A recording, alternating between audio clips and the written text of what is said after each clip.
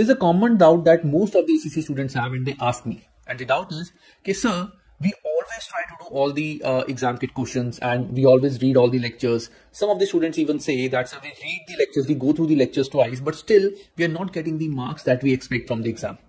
Yeah, the questions that are coming in the exam are not exactly what we have studied or what we have done in the study text or exam kit. What's the reason behind that?